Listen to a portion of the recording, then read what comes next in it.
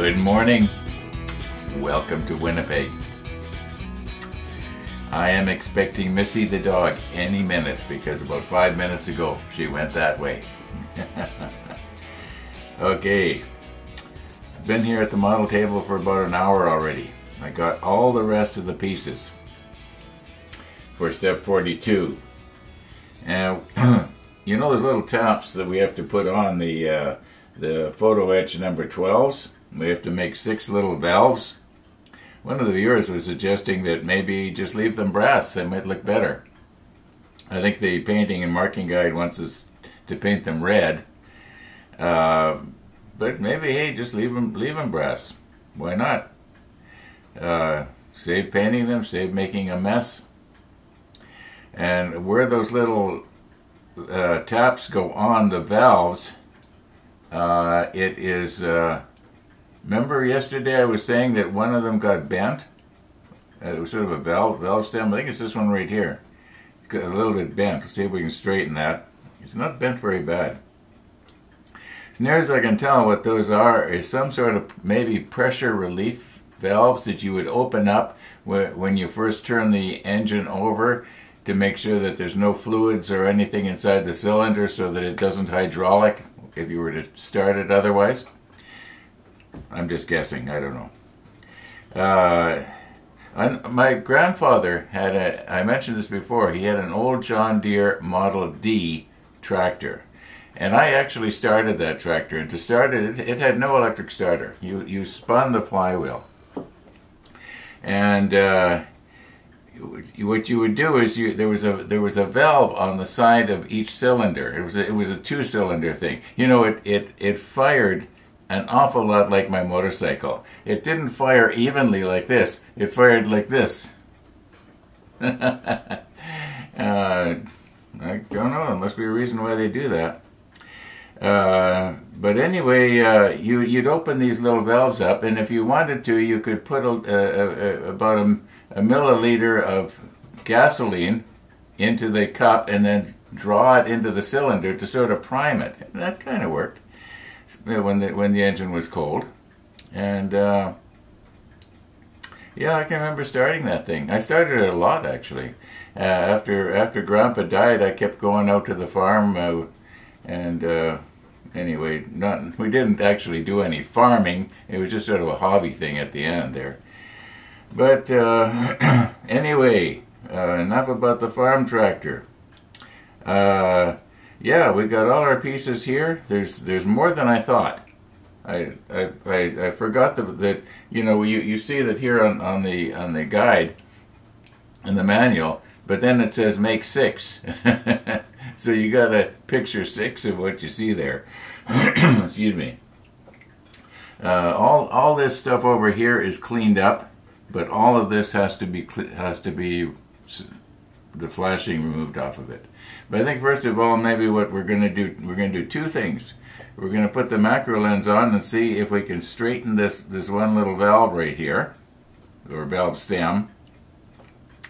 And uh, the other thing is, when I was nipping uh, the, these longer, skinny little pieces of spaghetti off of the sprue, I was using a technique that I I, I didn't really I do it I did it unconscious unconsciously, but it's a technique I use in order to not break the piece at, when the when the nipper cuts through. And I thought I should just pass that on. Probably most of you already do it, but this it's what I do, and I think uh, the, we'll put the macro lens on here in a few minutes and actually do that. Um, I'm not going to spend a lot of time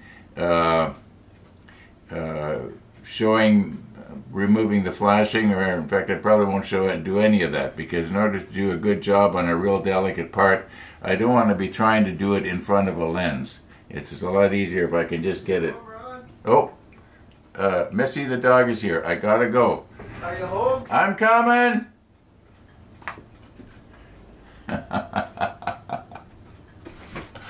Here we go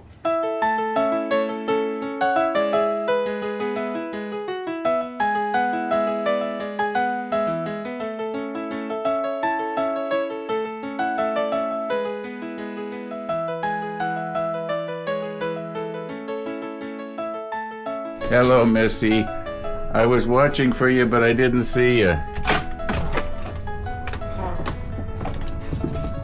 Morning, Max. Good morning,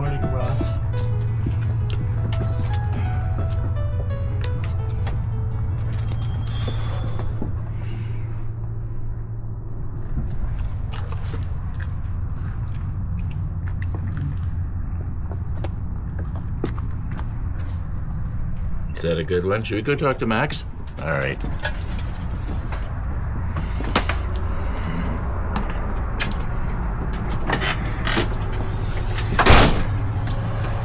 Uh, I was so engrossed in uh, doing my opening remarks that I didn't see you coming. Were you waiting long? No. Oh, good. Okay, wait, wait, wait, wait, wait, wait, wait, wait.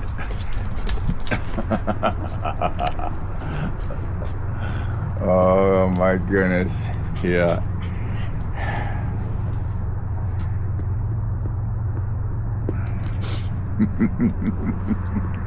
You can tell her she really feels at home when she lies down like that. Really? She's relaxed. She's not on alert. So you felt right at home, did you, Missy? You felt right at home. Well, that's nice. How are the opening remarks going? I, I just uh, was talking about a little piece that I had broken, and I was going to put the macro lens on and fix it, and and then I mentioned how I was going to show a technique I, I used for removing very delicate stuff from the sprue without breaking the little delicate piece. And that's what we will, we will be doing next. It's probably not going to be much of an episode today. Uh, a lot of what I want to do, I have to do off camera. So, uh, It's going to 30 degrees, so 30. uh-huh. Oh my, that's going to be beautiful.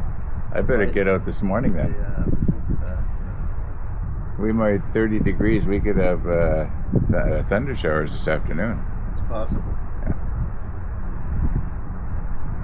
Is that is that what we're gonna have, Missy? Are we gonna have thunder showers? Hmm? Okay. I I think I'm gonna turn the camera off here. Oh, she's got a scratch or something. Oh, a sneeze. You made some sort of movement with purpose that she can sense that, whoop, maybe he's getting up. Not getting up? Okay, I'll come back.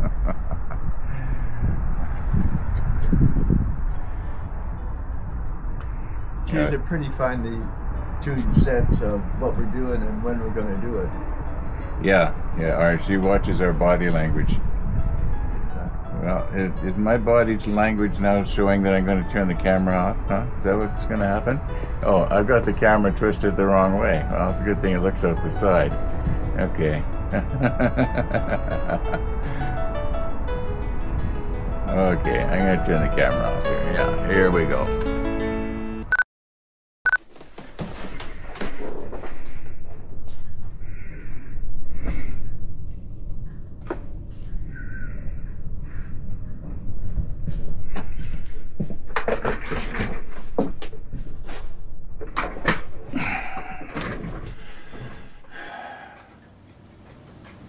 Okay.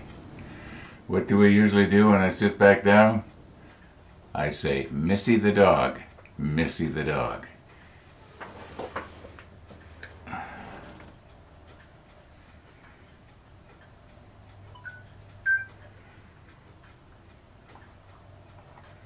All right. Now we can continue on. Where were we? Uh, yeah, we were going to put the macro lens on, and we were going to repair this piece right here. Uh, yeah, I can't remember if the camera was running when I was telling Max outside that the today's episode is probably going to be a little bit, maybe a little shorter. We'll, we'll see how it goes. Uh, I've, I've sort of lost my train of thought here at the model table. yeah, it's supposed to go to 30 degrees outside today. That's that's pretty nice. Uh, so uh, that would mean uh, I might want to get in my my quick scoot, you know, around mid morning instead of uh, later in the afternoon.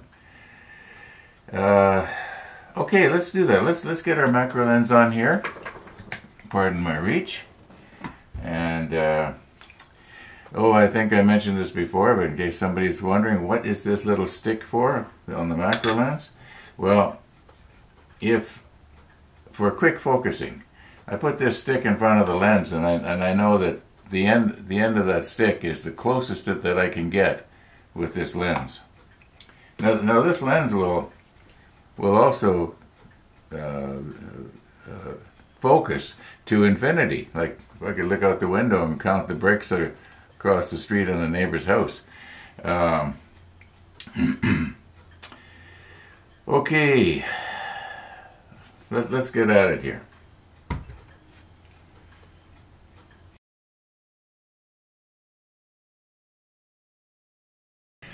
We had a very smoky sunrise this morning, but not so smoky that we couldn't see it come up. And our walkers did come by, a little bit earlier, but they came by. Amazon just delivered this about half an hour ago, I guess. And I think what's happened is in yesterday's episode, I had said something to the effect of that I wasn't feeling good or let, misled people. And uh, oh, okay, what what this is all about is just just to, I wanted to try this for arthritis pain, uh, backache, joint, muscle, arthritis pain. That's I don't know if it's any different from Tylenol or or not. So I thought I'd just sort of give this a try. Um, yeah, it, it was uh, 24 tablets for five dollars and change delivered to the house. I figured, you know, give give it a try. So, uh, yeah, okay, enough about this. I'm just gonna take one of these and uh, let it have a chance to set in, and then probably, actually, very quick soon, I'm going to be going out on the bike. So let's uh, let's get this episode wound up here. Uh, as I mentioned, it's probably going to be short. Uh, okay.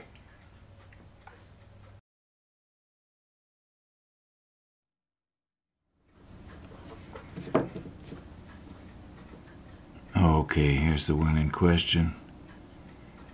And uh, you can see where the plastic is kind of whitened a little bit.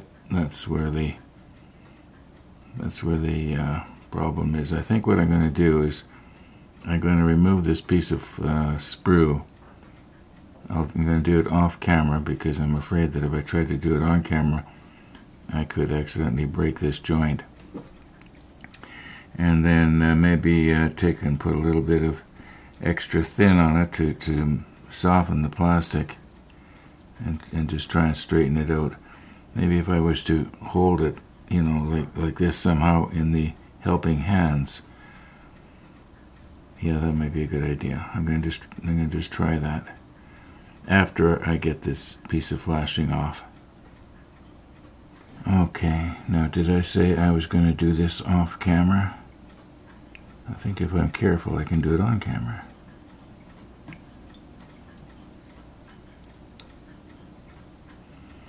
Now, we got that little piece of, of flashing still on there, right? I think what's going to happen is the uh, when I put the extra thin on there, it's probably going to, all being well, take care of that. And this, the, it, it, it is so small, we're not going to see it. I'm afraid if I try to, you know, take it, take it down, I just can't turn this thing around. I have so much fun trying to do stuff on camera that I shouldn't be. Maybe if I was to hold it down with a tweezer somehow.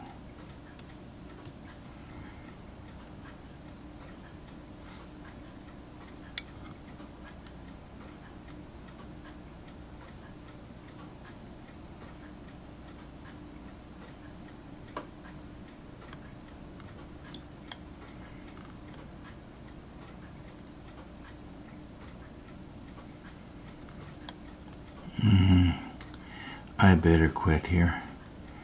I'm probably going to end up breaking this thing at the at the, at the uh, fracture there. Okay, I've got some extra thin here, and as you can see, I've got this thing hanging instead of going the other way. And the idea is that if I get too much on there, it will it won't glue itself to the to the tweezer. I'm just trying to soften that joint there.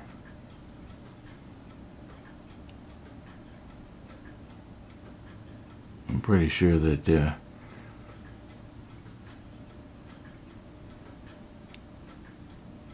yeah, I'm pretty sure it goes all the way around. Now,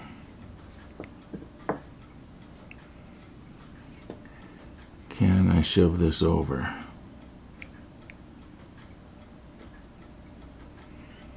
How can I grab onto that? Give it a bit of a twist.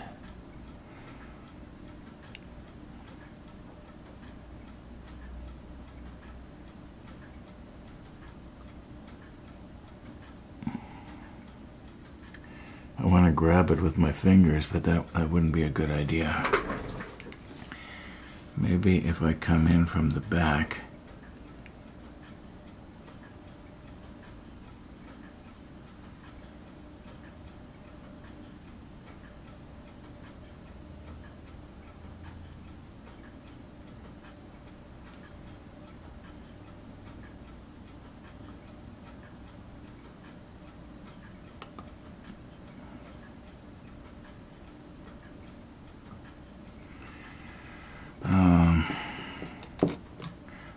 glue is dried.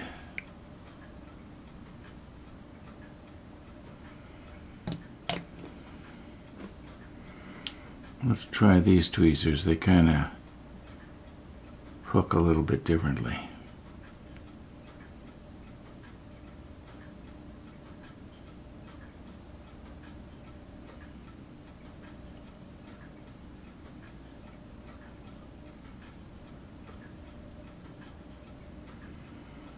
Well, you know what? I, I think I better. Uh,